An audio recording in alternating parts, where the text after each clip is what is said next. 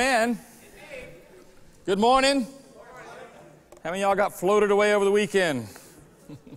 Been crazy rainstorms, but you know, it's either feast or famine in Houston, isn't it? I do want you to know that the message today is age appropriate, which means if you have children probably younger than uh, 10, you might want to move them to a safe zone. I am talking about some issues uh, that are pre- pre- prevalent and relevant today in regard to purity and morality. In fact, we'll be doing this for the next several Sundays, uh, talking about issues that are plaguing our culture and our nation. I think it's time that uh, we raise a voice and let it be heard very loud and very clear that there's still a God in heaven and He has not changed. From the first of Genesis to the end of Revelation, He will not change. Nor in time, nor anywhere in eternity will He change His mind. He is God on high. He has established a set of laws and principles that will forever be the same. So I want you to know today what we share is not anybody's personal opinion, it is the Word of God. And we'll be talking about that. And we'll discover as we talk about this topic today that the Word of God perhaps is uh, not relevant to the culture we live in anymore. But it's still relevant. It's still real, still changes lives. God is still performing marvelous and grand things in people's lives who are willing to hear truth and believe truth. But when it comes to issues of morality, this whole issue of, uh, of having purity and virtue, virginity, these things that the culture has somehow lost view of, uh, those are the things we'll be talking about. Every great nation that has fallen, you can study through history, has usually fallen, always fallen through the moral decay that happens within that nation. You just read history and you discover it very clearly. Every nation is destroyed from within first. The moral fiber goes, then everything else goes. Because with virtue, with morality, also comes strength. That's why the scripture has so much to say on it. And from the book of Genesis on to the end of the Bible, there's a, a great deal to say on it. But we're living in a world that really doesn't pay a lot of attention to scripture. We know that as Christians. And it does listen more to what is coming out of the media. No matter what part of the world the media might be presenting itself, they pretty much all embrace the same philosophy, humanism. Uh, the things that are uh, what's important is what I can feel and what I can hear, what I can taste, what I can see. Completely lost sight of the fact that there is a God, there's a spirit world, there's a God who loves us, there are angels, there are demons, there's a Satan who hates us and wants to destroy our lives. But we're going to take everything we do from the, from the Word of God. Unfortunately, the culture listens to the media. I just pulled some statistics, and there's thousands of things that we could talk about today to verify the reality of the moral degradation, the moral decay that our nation is facing, the world is facing. But these came off a government website, an educational website, by the way, and they made references to other statist- statistical studies. I just watched it, can't do a thing with it. But uh, they make reference to a lot of other studies that are relevant that are out there. But uh, one of the things that kind of popped out of all these particular studies that I was looking at is the, the, the power of media and especially of television. Uh, this is one of the statements made Americans will spend about one third of their free time. Now, catch this. A lot of things we can do in our free time. Americans spend one third of their free time, and that is more than the next 10 most popular leisure activities combined, all right? They'll spend one third of their leisure time watching television. The average teenager spends more time in front of a television than any other activity besides sleeping. So you wonder what's wrong with young America. They're either sleeping or watching TV. That's pretty much the way it all really boils down to. Television viewing increases in preteen years and declines after 12. Adolescents from 9 to 14 will spend 20% of their waking hours watching television. And the study goes on, but it gets down to this point. By the time a teenager reaches 18, they will have seen over 350,000 commercials. And one third of them, 100,000 of those commercials, will have been advertisements for drinking, for beer. Now, you never see a bunch of old people used in beer commercials, do you? You know, I saw a study this week says, you know, drinking wine will improve your health. I said, well, I need to go down to the bridge down here and ask those guys how it's working. And that's another sermon we'll save for another time. And then it gets into the issue of morality and sexual content on television. Two out of every three shows on TV include sexual content. It's a majority, by the way, all right? An increase from about half the shows from 1997 and 98. Now these shows will include, more shows than ever include sexual content. The most widely viewed shows, those are, are airing in prime time on the major networks, are even more likely to include sexual content. Went on to say sexual intercourse is depicted are strongly implied in one out of every 10 shows on TV. Of those instances of the intercourse, either depicted or strongly implied, only half will occur among couples who've established with an established relationship with one another. Now, what does an established relationship mean? That doesn't mean in the context the world is married, all right? It might mean they've been living together, they've been dating for a long time. Uh, we've lost the context of, of what, this, what a meaningful relationship is. You know, young people listen very carefully. Let me give you a one word definition of a meaningful relationship married. Bible says in, in marriage, the bed is undefiled. So, marriage is the context that Scripture gives this, and why God gave this gift to a man and woman to be, in, to, to be experienced in a relationship of marriage. I tell my kids, sex before marriage, the Bible makes it clear, is sin. After marriage, knock your lights out. Be married first. With your marriage partner, by the way. Amen? And this goes on and on. It's just amazing it's, how many of these statistics show that uh, how, in, how it's increased, immorality has increased, and sexual content has increased, and even to the point of sexual content that involves teenagers. Just a few years ago, only 3% of the shows that were on TV, at least in prime time, would deal with that issue about teen involvement, but that has jumped to 9% now of TV shows. And of course, it's never depicted in the context of, uh, of uh, uh, STDs, HIV, AIDS, you know, and all those things, it's usually depicted in something like, well, we have a meaningful relationship, which doesn't mean married to them.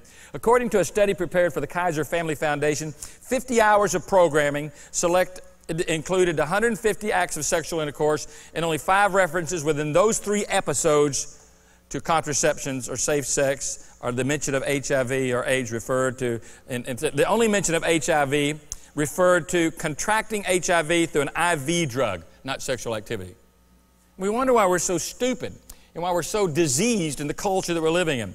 Of course, the media has so much to, to play on all this. We've said it for years. In fact, there are studies now that prove the fact that how people and how much people view the media will affect their behavior. In fact, here's what the study said there are strong theoretical reasons to believe that the media play, may play an especially important role in the socialization of sexual knowledge, attitudes, and behavior.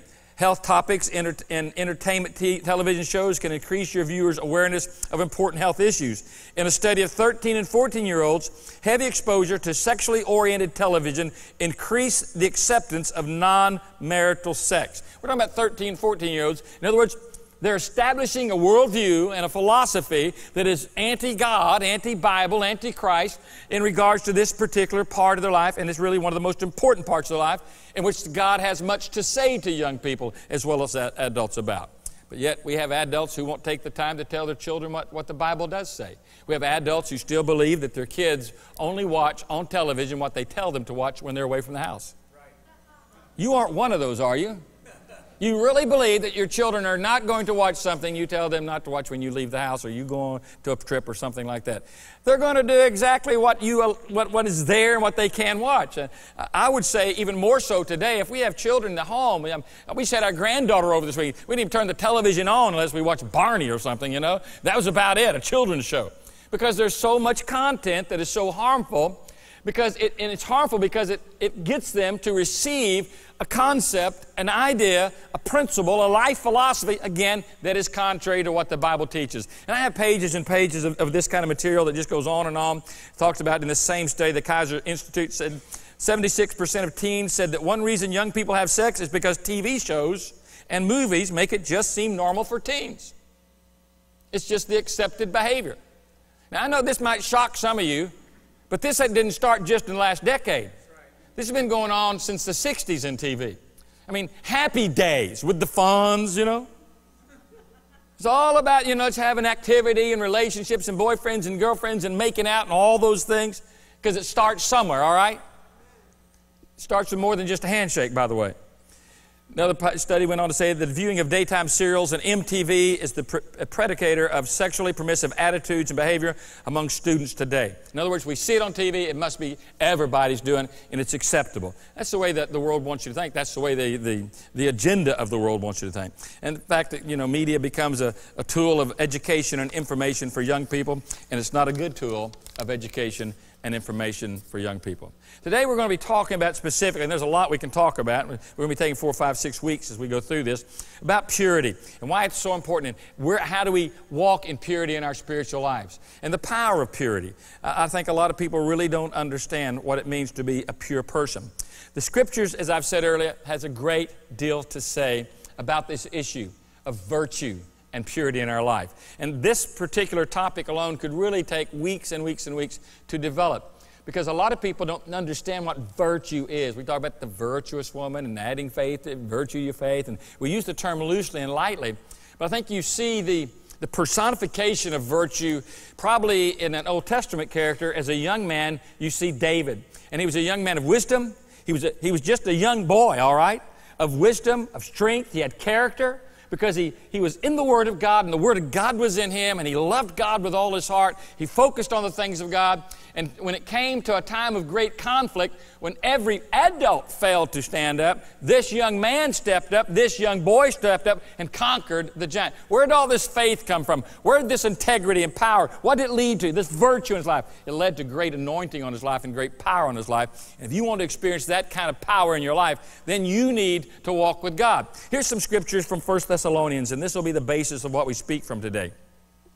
He says here, Finally, then, brethren, we request and exhort you in the Lord Jesus that as you have received from us instruction as to how you ought to walk and please God, just as you actually do walk, that you excel still more.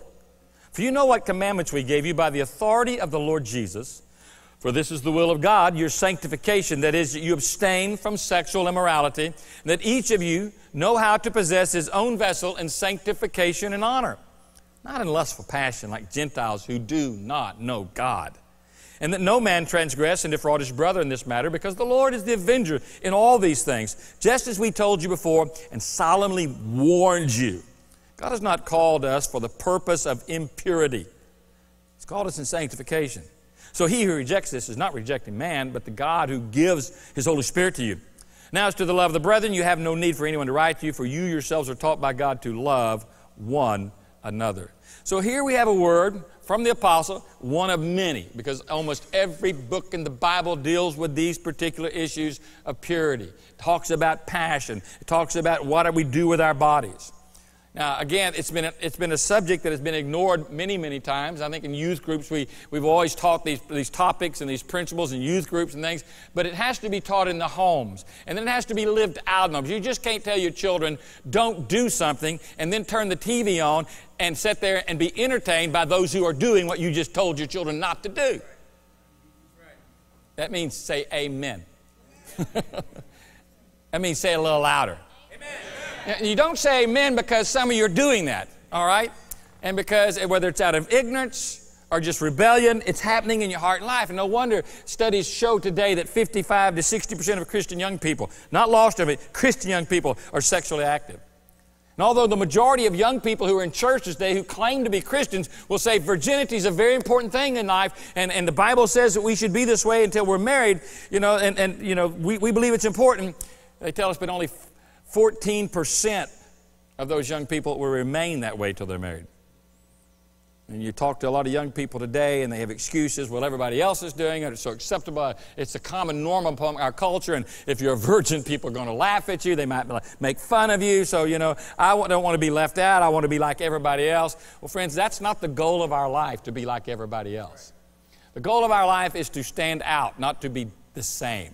We're living in a day and age which is not any different from the past days and age where everybody wants to be cloned, to be accepted by the group, to be received and to be popular and to be one of the particular group, whatever the group might be. It's not just with young people, it's with adults as well. We, we want to be liked at work, we want to be accepted at work, we want to be recognized at work, we want people to receive us. And therefore, because we want people to receive us, we have to be very cautious about what we would say or view or letting our, our opinions be aired and so what happens is you get the little stamp of approval from the world and you become just like everybody else. God didn't intend you. God made you unique. Now, problem is, we've told our children from the time they're one, in this generation we're living in, that they're special. Everybody wins a trophy. Everybody gets a ribbon. Everybody's special. No, you're not. You're not special, okay? You have to live a righteous life. You have to, you have to achieve something if you really want to be. You know, I think of somebody, Billy Graham's special. Amen? I think he's special. There's some people who've achieved great things in life and done great things for mankind and great things for humanity. You know what? They're special.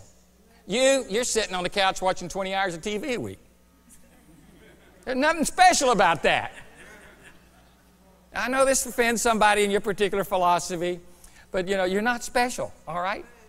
You're a little sinner until you get saved. And then you can start being something special because you know God, because you commit your life to Christ, because you're going with God. And so speciality can start being something you can pursue with purpose in your life to do something for the glory of God, to make a difference. But you won't make a difference if you're trying to be like everybody else.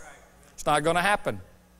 God wants something unique to take place in your life. It's called virtue, moral standards, purity, holiness, righteousness. Somebody that's different from the rest of the world who's willing to pay the price and to do something for the glory and the honor of God.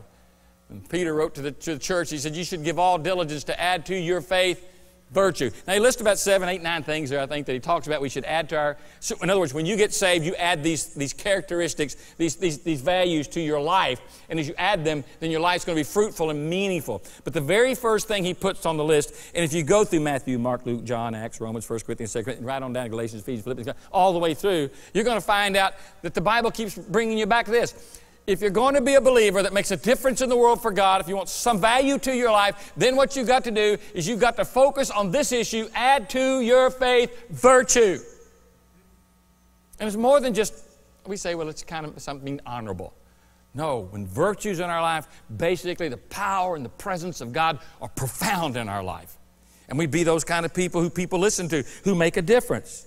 Now, when you go back to First Thessalonians, there's about five simple principles that are given to us here where he talks about making a difference, you know, and how to make a difference in your life, and really how for God to do something unique in your life.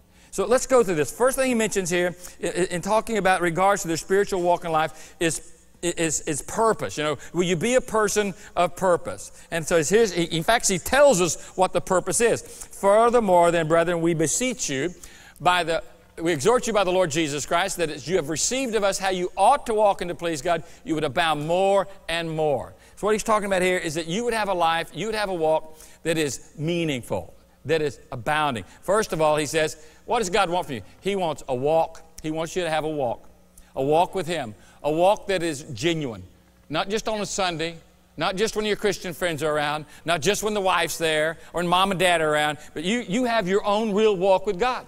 There has to come a place in your life where you discover God for yourself. All right? When you start living for Jesus, not just because mom and daddy like it, all right, but because you're genuine, that you're real. And so a walk, and what happens that he said, I want you to know how to walk with God and I want you to know how to please God. That ought to be the cry and drive of every person in this room that says they know Christ. There's a, there's a heart in us that says, I want to please God. And the Bible tells us how we can please God. It talks about how faith pleases God. It talks about how worship pleases God. It, it, our relationship with God is primary and first and most important. That's pleasing to God. Now, what happens when my walk is right with God and I'm seeking to please God? By the way, that's my purpose and your purpose to bring glory to God. That's what it all boils down to. That's the aim, okay, of my life is to walk with God and to bring pleasure to God. What happens? As I do that, then God begins to do a work in me where I begin to abound. I begin to be full. I begin to experience completion. I understand what it means to live with freedom in my life, not binding enslavement in my life. I understand what it means to live with power of God on my life. I understand what it means to have some strength of character in my life. And I am in the dark what I am in the light, you know. It's just, I'm, I'm walking with God. And what God does in me is He brings forth fruit. He brings forth fullness and success in the truest biblical sense, not this success of achievement in the world, but success of knowing I'm full, I'm happy, I'm holy, I'm walking with God. Said, This is what God wants you. That's the purpose. This is what we ought to do. I exhort you by the Lord Jesus. I told you, you received us, how you can walk and you can please God. Why? So you can abound more and more. More and more. So, how can I do that? Well, first of all, this is your purpose. And then he gives you a plan for doing it. Simply written in scriptures. He talks about, you know, for in verse 5, this is the will of God, your sanctification. So what's he doing here? he's showing us what, what, what the purpose is as well as what the plan is. He said, I want you to understand God's will. You must understand God's will. In fact, that's probably one of the biggest questions in speaking to people one on one that I deal with as a pastor. Brother Joe, I really want to know what God's will is. is this the person I'm supposed to marry? Is this the job I'm supposed to take? Is this the steps of action? Am, am I supposed to be in the ministry? Am I supposed to do this? What, what's God's will in all this? Well, good to know that God wants you to know His will. Amen? And, and, and Paul is saying, hey, first of all, it's to, it's to walk with God and please God, period. First point. All right? And if you, as you do that, you'll abound more and more. So now I'm going to be more specific, says. So now I'm going to tell you what the will of God is. For everyone here today who's been wanting to know the will of God for your life, listen carefully. For this is the will of God, your sanctification. Sanctification. That's a big word, I know. Now, if you go to any recent kind of church growth seminary where pastors by the thousands together to learn how to have a big church, then you'll learn not to use these kind of words sanctification. Because people don't understand these words. I want to stand up at that point and say, That's why you're called to preach, so they can understand. Amen. But yet we've dumbed down the congregations in the world today, all right? We have a bunch of spiritual illiterates running around. You talk about sanctification. Oh, well, that's a big word, you know. That's sanctification. What you? Well, I mean, it's, it's, it's simple. If it's the will of God, then certainly we understand the purpose and the plan of God. You know, is that, that, that He would it would be my sanctification. You, you know, you if, you if, if you don't know what God's will is, mark it down. God wants me to walk in sanctification. Let's all say it together. Sanctification. Try it one more time. Sanctification. All right? And so that's, that's the plan. This is God's will. But to do that, you know, there's a process that God works in our life. And sanctification is something we do need to understand. There's really three stages to it. When you give your life to Jesus, you are sanctified according to 1 Corinthians. You're made right with God. All right? This word has to do with cleansing, being made right, being made acceptable in God's sight. Well, why would I not be acceptable? Well, God is holy, all right? He is offended by sin. And we are sinners in our very core being. So that when I come to Jesus, He changes me in what I am and He sanctifies me. I'm a sinner, so I now receive Jesus, I'm saved, and sanctification happens in my life where He makes me clean. Now, there's another part, not just this positional sanctification, there's progressive sanctification. I have been saved, all right, and where I was sanctified. But now today, God wants me to be being, being sanctified. How you do that? Well, that's that walking with God.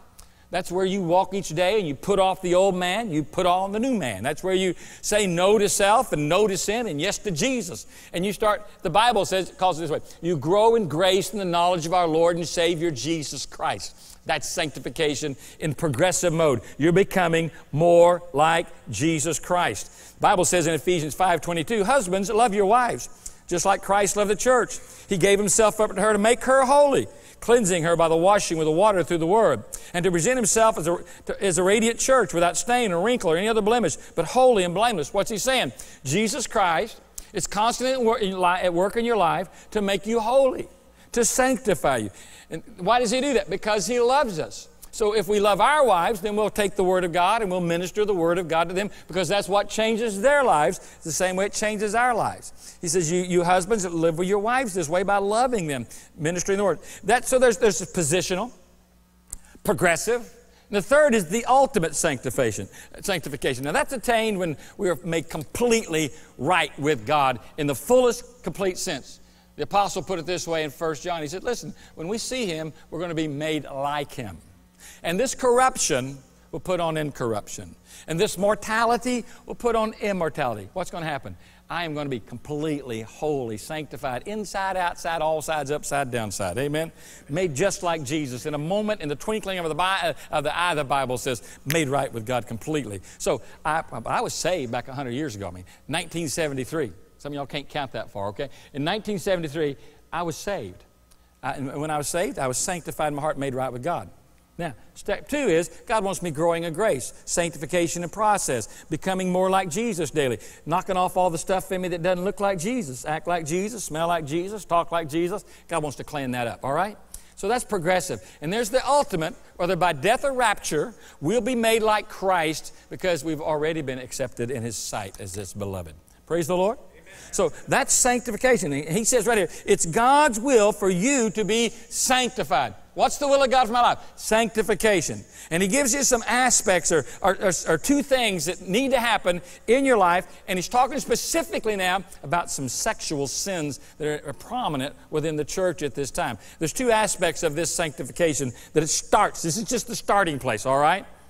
He used this first thing. He said, To every one of you should know how to abstain you know, from sanctification. It's the word apeko. It's two words, a negative little part, a at the first, the participle, attached to another word, pesho, which means to have. So if it's a, like atheist, someone without God, all right, it's apeko, apesho, whichever it is, it basically means to, to, to keep away from something, or to take away from something, or to hold yourself away from something.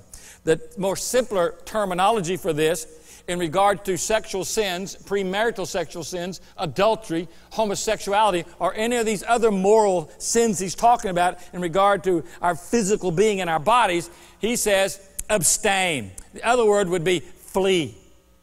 Flee fornication, flee adultery, flee homosexuality. Every sexual sin, the way we deal with it is one way we run. Run. Flee boogie, whatever you mean by it. Get out of there.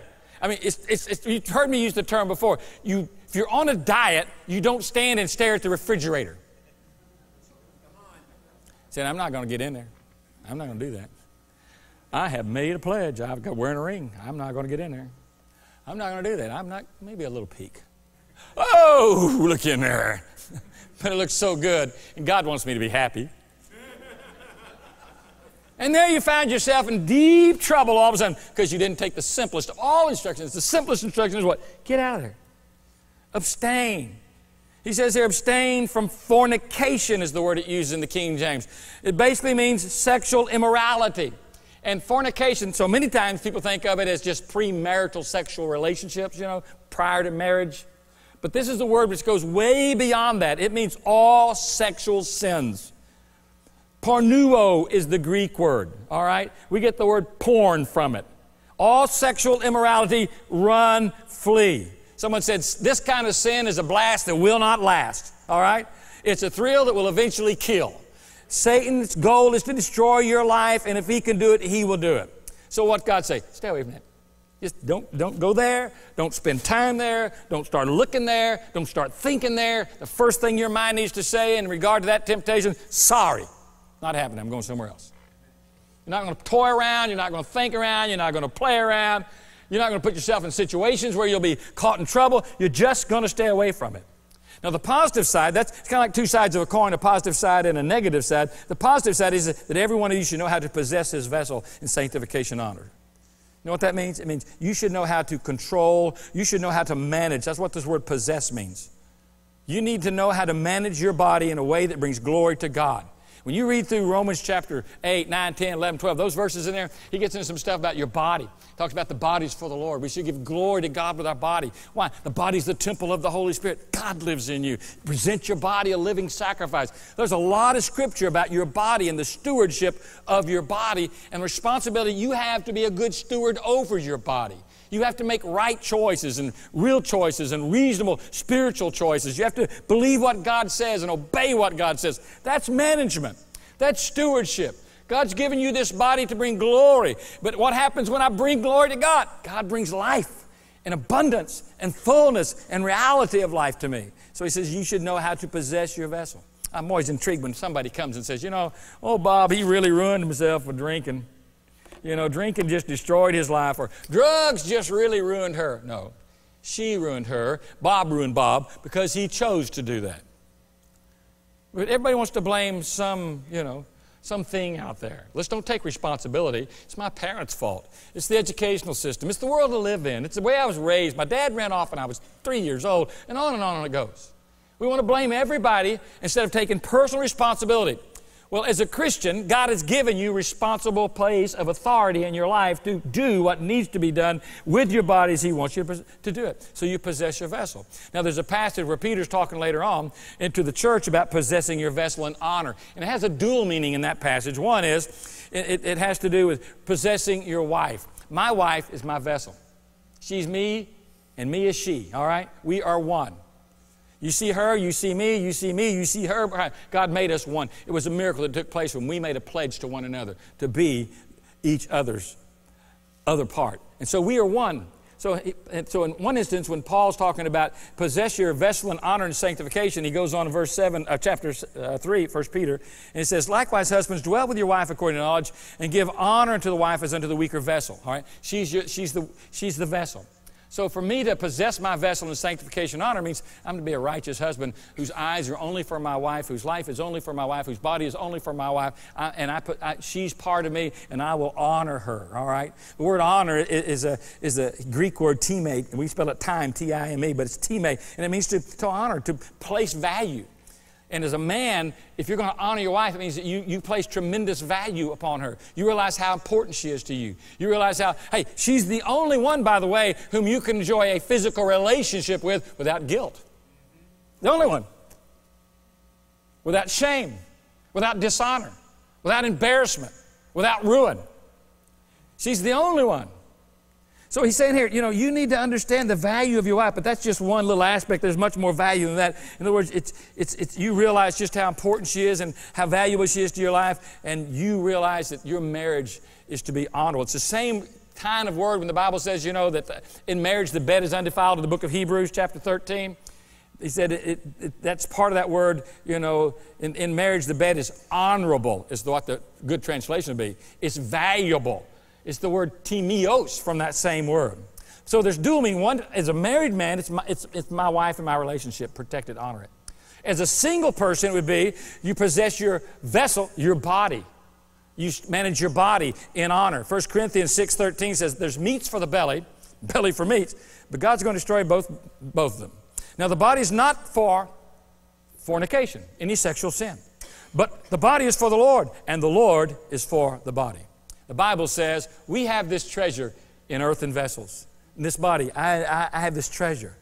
Now, God has given me something the day I was born and created in my mother's womb, as, as well as He gave you. He gave you certain desires. All right? There's just things you, you, you, you want. One is food. Anybody here not like food? Yeah. We, we, we have a desire to eat. It's a natural, normal, God given drive, right? Now, you can, you can sin against God by, you can become anorexic or bulimic or whatever, or gluttonous on the other hand, all right? And what are you doing? If you commit those sins, you're, you're, you're really sinning against your own body, aren't you? All right? So you, that's a drive. There's also an, another, there's a drive that God has given all of us, I believe, to worship. And man's going to worship something. He's going to worship himself, he's going to worship idols, or he's going to worship God. But he's going to seek to satisfy that drive and that desire somewhere. God put it in every man, I believe in his righteousness to seek God. Some will say no, some will reject God, but ultimately God's given them, given them this drive to lead them to Him. Now, there's also another drive. There's, in fact, there's many, I believe, and they kind of make up our life like fine woven twines in a, in a rope that makes up our life. And what God wants to do is, is sanctify those drives and desires, all right? So whatever they are, what, whatever, whatever in our life, that we do it in a God-honoring fashion. There's another one called the sex drive. God put that in every person, all right? There's this drive, there's this desire. But there's a righteous way to satisfy that, just like, just like every other drive. There's a right way and a wrong way to satisfy it. And God tells us what way that is to satisfy it, to deal with that. Verse 5 of, 1 Corinthians talks about don't satisfy, this verse 5, excuse me, in, in Thessalonians, not, do not satisfy these desires in the lust of concupiscence. That's what it says in the King James. Don't you like that word? Can't with that little slobber. And lust of concupiscence, lasciviousness you know what those words mean? No. That's because you, you probably had a preacher at some time in your life that dumbed you down, all right? Lasciviousness, concupiscence. Concupiscence is a word which means the desire for something that's forbidden. Uh, I want you, and you want me. So what's the deal? Well, what's the deal is you're not married. What's the deal? It's not the right time, nor the right place, nor the right situation. It's a desire for something that you know that God has said for you not to have at this point in time in your life. In fact, this word concupiscence, when you study apostasy, apostasy are counterfeit Christians. All right? When you study apostasy and you study it from, from, from Genesis all the way through the Jude and Revelation, you'll see apostate is someone who fell away it. Not that they ever embraced it for their own selves, but they adhered to a form of godliness, all right? But they denied God in their life. And they have this fake religion. Oh, I love Jesus, you know. You see this all the time with people say, well, I, you know, yeah, I'm, I'm living with so and so, and I live, you know, live like a, you know, a, uh, immoral person and have immoral habits, and I'm just, you know, kind of godless in all my behavior and my attitudes. But oh, I love Jesus. I just can't wait to get to heaven to see him. Apostasy. One of the clear signs of an apostate is somebody who chooses to live in immorality and reject the standards of God for their life. They want to have a form of godliness, but they deny God's power in their life. You have to make decisions in your life to honor God with your body. Now, he gives you some practical steps to this, and what are the, the fourth point is these practical steps. So he says, so here's what you do. If you're really interested in, in, in, purity and, and, and being what God wants and having the glory of God in your life, and he said, make sure that none of you go and transgress or step over those boundaries. The Greek word is huperbano. It means to overstep a, a limitation that separates purity from impurity or chastity from, from, from impurity or, or licentiousness from righteousness. You know, there's a boundary out there. And God's drawn the line of where it, that is. Where are the boundaries? And, and, what are the boundaries? You say, you know, uh, I'm coming up to this edge here and there's a cliff down there. But you know, I would really, I've seen some other people go over this cliff, so I got, you know, I heard him screaming all the way down. It must be thrilling. But I know, I know I shouldn't step over that, but I'm going to step it over anyway. You've also heard me use the illustration of when you take driver's education class and you finally take your driving test and the cop gets in the car with you and he's driving you around and they even do that anymore? All right i didn't know that. And now it's teachers probably but if you come up to a stop sign and you don't stop behind the sign in most intersections today we have a white line you know right there at the stop sign. You're supposed to stop behind the white line. And for you to come up to the stop sign and go across the white line with your bumper or even with your front tire then you've stepped across the line and you flunked the stop sign test you're supposed to, that's why the line's there, by the way. You're supposed to stop behind the line. You could flunk the test. That's that word transgress. Don't overstep the line. There's a boundary, there's a line there. Don't, don't bail out over there. That's like Jesus saying, you know, there's, it's like a man cannot take fire into his bosom and not be burned. Why? Because fire goes in the fireplace, not your bosom. I'm going to say, well, that's a stupid illustration. I mean, can you imagine? Here's Jesus say, A man cannot take fire into his bosom and not be burned. I'm sure there's some college kid out there saying, duh.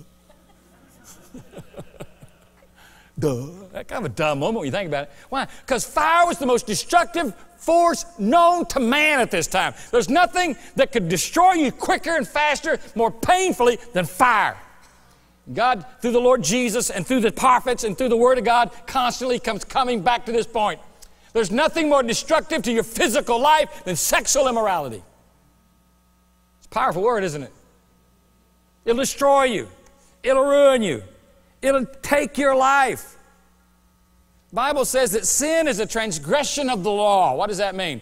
God's gave a purpose at it. God's gave a plan at it. And for you to just ignore it and say, well, I don't care. I know what everybody else is doing. You can get on TV and listen to everybody call Christians fools and the Bible ridiculous. You got guys like Bill Maher out there, you know, who laugh at Christianity, mock God and mock standards and mock morality. See what happens in the end. He says, don't cross those lines. He says, so how do you do it? Practical steps first. You should do not transgress those things, nor defraud. Plenecto is the word. Two words together, echo and pleon, means to have something, to take advantage of something. What's he saying here? Don't you go and sin in this regard, nor should you make anybody else go and sin in this regard. Don't you be the one who stumbles and then take somebody in the stumbling process with you. You got it, what he's saying here? Have a life that's righteous, but affects other people for righteousness. So he said, don't cause any, and use the word defraud. We've talked about those appetites and those drives. Literally, this word is a word which means don't, don't try to get something for yourself and stir up something in somebody else. Don't try to stir up a desire in somebody else that's not godly that would cause them to be humiliated or destroyed in any way. He says, Do not, that's verse 6, don't take advantage. Why? Because the Lord's the avenger. You say, how can you take advantage? Hey, you don't have to take advantage by rape or molestation. There's a lot of that going on. But you can take advantage by somebody the way you look at them, young lady, young man. You can take advantage of them by the way you dress. Simple principle if there's cleavage, leavage. Pull it up. I'm not interested in seeing the parting. Parents, where are you? There are certain ways and things, the way God made a woman, that are attractive to a man for a reason so that man and that woman can enjoy their relationship. But heaven forbid they're not for everybody else in the community. The short skirts, the tight pants that look like they were painted on when you were born and still shrinking. The short shorts that you're falling out of in the back, come on. Ladies, young ladies, don't dress like hookers and prostitutes. Well, I happen to think she looks very cute in it. I'm sure a lot of the guys think so too. We're living in a wicked generation. Put your head on straight. Bible says very clearly not to defraud one another. Unfortunately, we have little girls today who think, well, I'm just not pretty enough. I've got to do something to draw some more attention. You've been lied to by a wicked and godless generation. The attention you get is not going to be genuine, nor is it going to be real. It's going to be looking, it's going to be that person who wants to defraud you, to have you for their own advantage, to take advantage of you. Now, there's a lot we could say here, all right? But that's pretty clear, all right? Just that you shouldn't walk around like a cow on an auction block. All right? God gave you what He gave you, young man, young lady, for your wife, for your husband one day. Have a gift to give. There's this idea, you know, of, of, of, of, of the value of our life that you start giving it away when it's not supposed to be given and it's, and it's not supposed to be, you know, it, it literally takes the potency out of your life. Whereas virtue brings potency to your life, power to your life. Dissolution is the word we would use today.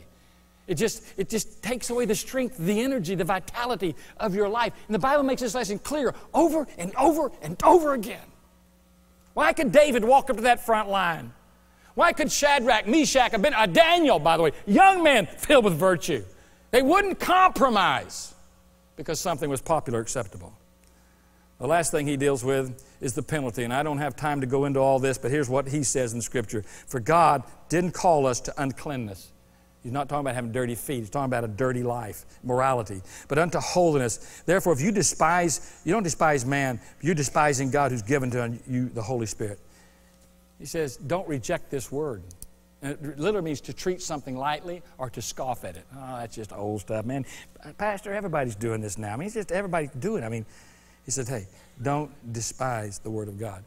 There's a lot of penalty to it. One, you have to face the psychological penalties. Those things where people who get involved in these particular kinds of sin have now opened the door to all kinds of other temptations in their life. They're having problems. You know, they, there's depression, and clinical psychologists and psychiatrists tell us that young people who are actively involved in this kind of immorality in their life and pornography and these kind of sins are open up, open up their life to lots of depressing uh, depression is not just girls, it's young men as well. And I'll say we can deal with some of these other things later on, but there are other, not just are there mental and emotional scars, there's physical scars. We, we talk about all the sexual diseases that are out there and all the complication it brings from the cervical cancer. And, you know, Governor Perry, bless his heart, but how stupid was it to start handing out this particular vaccine that he wanted to give little junior high girls? Why was he, well, it's, it's, it's cervical cancer, it's a bad thing. Where do you get cervical cancer from? You get cervical cancer, young ladies, from premarital sex. That's what causes cervical cancer. Look it up if you don't believe me. All right, and then there's not, I'll, I'll, you deal with those issues of all those kind of things and the psych, the physical STDs and AIDS and all those other things that are out there. But there's also spiritual scars. You know, God wants to bring you to a special place in life. He doesn't want you to go into life guilt-ridden and shamed, living in heartache and pain and condemnation. God wants you to walk in freedom. That's why the Bible says, don't let us commit fornication as some of those people committed in the wilderness, and they all died. One day, 23,000 people died because they were living in immorality. God just opened the ground and swallowed them up. He may not open the ground up, you may wish He had because of all the pain and all the heartache. I'd, I'd, like every person, every parent in this room to go take Proverbs 5 and 6 and 7 and read it to your children. Read it more than once, read it several times. In those chapters in Proverbs, he deals with the high cost of immorality. Let me just run them through for you very quick. He said in Proverbs chapter 5, he talks about a wasted life because he, he chose to live in immorality. Proverbs 5.10, he talked about coming to financial ruin because you chose to live in immorality. 5.11, he talks about all the mental anguish we talked about a while ago, the, the self-reproach in, in 12 and 13. in Proverbs 5.21, the divine displeasure. He goes on in Proverbs 5:22. He deals with the, the, enslavement that comes into your life. Listen, you can tell a person who's being demonized in their life because they've opened themselves up to immorality, and Satan loves that and embraces that in a person's life because it gives him a foothold in their life. Proverbs 5:23 talks about a ruined life. You get into Proverbs chapter 6, there's a whole bunch, but one of the key points there is a damaged reputation. 634 and 35, he talks about revenge from a father or a husband or someone like that that you're going to have to face one day. And in Proverbs 7 22, he talks about one day when you think you're getting away with it, it's like a bird being led, following breadcrumbs into a trap. You're going to find yourself destroyed. Galatians 6 and 7, I'll wrap it up with this. Be not deceived. God is not mocked. For whatsoever man soweth, that will he also reap. You want to play that kind of game? You want to live that kind of life of immorality? There's a price to pay. It's going to cost you a lot more than you want to pay. And it's going to cost you a lot longer than you want to pay. Inside, you're going to hurt. Inside, you're going to feel the pain. Not only that, we do not live as islands, ladies and gentlemen. What I do affects what my children will do, my wife will end up doing. You say, Well, I don't know what happened to my kids. They're like you. And they become like you. Because you thought you could do these things in secret, that no one would know and no one would be aware. Now, I praise God. You know, every time I preach these kind of messages, and y'all know I wrote a book years ago called Love, Luster, Romance. It's no longer in print. You can probably buy it on eBay. I've seen it there before. It costs you more than what I charge people for them, but the book had to do with this whole issue that there is a God of grace. And every time I preached on these issues and talked about these issues, from adults to young people, I see people's face just kind of fall. Because they know exactly what I'm talking about. They know exactly where, where, where we are. And many of them say, Joe, that was my life. That was a testimony of my life. And I'm so sorry I threw away those years or those days or those months of my life. I'm sorry. I made a wreck of it. But I want you to know I discovered Jesus and I realized that He loved me more than any man or any woman ever could. And I realized that He received me in spite of everything I've done. And I took a look at the cross of Christ where real love and sacrifice came from. And I embraced His forgiveness and His acceptance of me just as I am. There is forgiveness. The young people, listen carefully. No matter what this world says about virginity, it is a very special gift. There is no second virginity. I heard someone teaching on that one day. I was at a conference. So there's a second virginity. I didn't. I, I had to say something. There's no second virginity. It's a physical gift that you have. Save it for that moment. It's an honorable gift of merit for marriage. Don't let the world compress you and clone you and make you like they are. Present your body a living sacrifice, wholly acceptable. This is your reasonable service in Christ.